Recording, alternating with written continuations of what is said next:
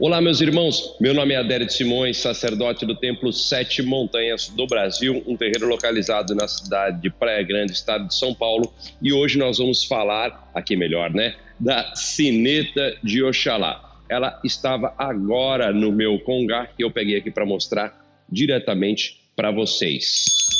Para quem não conhece, para quem não é de Umbanda, para quem está conhecendo a nossa religião, isto aqui se chama sineta sineta de Oxalá. O adjá é uma outra coisa, ok? Esta aqui, sendo a sineta de Oxalá, é um instrumento característico da nossa religião, chamado de Umbanda.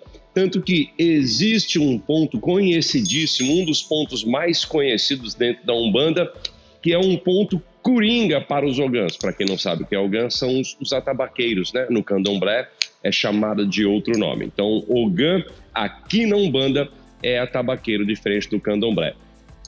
Tem esse ponto coringa, como eu estava falando, de subida de orixás e entidades. A sineta do céu bateu, Oxalá já diz que é hora. A sineta do céu bateu, Oxalá já diz que é hora. Eu vou, eu vou, eu vou, fica com Deus e Nossa Senhora. Eu vou, eu vou, eu vou, fica com Deus e Nossa Senhora. Para que serve então? É para tocar para orixá ir embora? Mas a Umbanda tem orixá? Mas serve então para trazer entidade? Como é que funciona a sineta de nosso Pai Oxalá? É um instrumento muito importante e ele está presente em diversos ritos, diversos morre, morrentos, diversos momentos do, do rito chamado gira, que aqui na Umbanda é o mesmo que sessão, missa, ah, que mais tem de nome para culto. Gira é o culto, a missa, a sessão aqui dentro da Umbanda.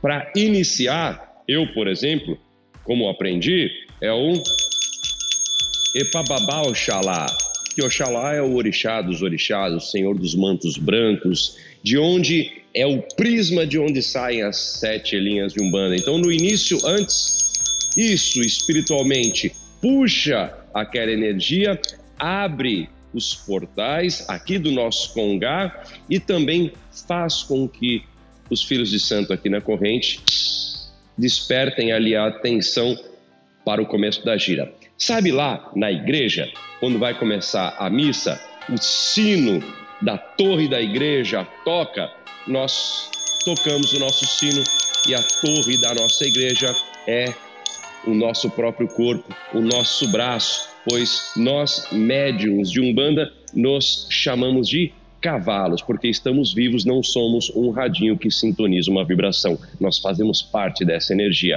Portanto, aqui é a nossa torre e esse é o nosso sino, que pode também servir para muitas outras coisas. Desenvolvimento mediúnico dos filhos de santo. Quando um filho de santo tem um problema de incorporação, está com um problema para vibrar ali o caboclo, preto velho, criança, boiadeiro, baiano, marinheiro, cigano, qualquer outra linha de trabalho que aquele terreiro tenha, nós, pais e mães de santo, usamos a sineta aqui à frente do médium, ou cavalo, tanto faz, do médium, para que ele mantenha a vibração. Como é difícil fazer ao contrário, para que ele mantenha a vibração justamente nesse chakra. Puxa fisicamente a atenção, né? o corpo físico se mantém atento, bem como a sineta dá uma vibração sutil, abre os portais, que também são, são chamados de chakras aqui na Umbanda, para que esta energia da entidade acople, se una ou ali consigam fazer a mescla para que chegue no momento da incorporação esse médio ou para que simplesmente facilite fazendo a puxada daquela energia e aquele médium consiga incorporar. Às vezes dá certo, às vezes nós temos que lançar mão de outras, é, outras não são regras, estou ruim de palavra hoje, outros métodos de desenvolvimento. Começo da gira,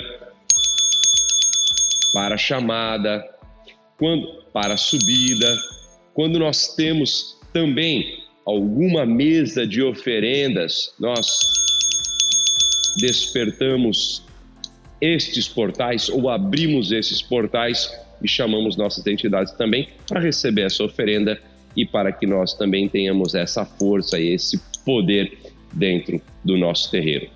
Não é só um banda que usa sineta. Quem já participou de aulas de yoga em, ou yoga, tanto faz, tá?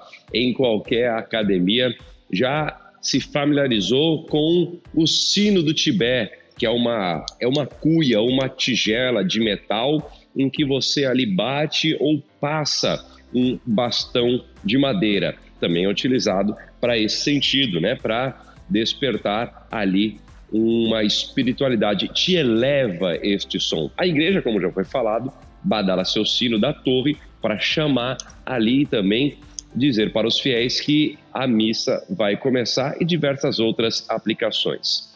Esse não é o adiar. Isso aqui é a sineta. Em alguns terreiros não tem problema as pessoas pegarem esta sineta. Em outros terreiros, essa sineta é reservada somente para médiums iniciados ou mais graduados. Vai de cada terreiro, respeitamos todas as tradições de Umbanda. Gostou do vídeo de hoje? Inscreva-se no canal e continue aqui acompanhando os nossos vídeos que quase que são diários. Siga-me também no Instagram. Um grande abraço, até a próxima e tchau.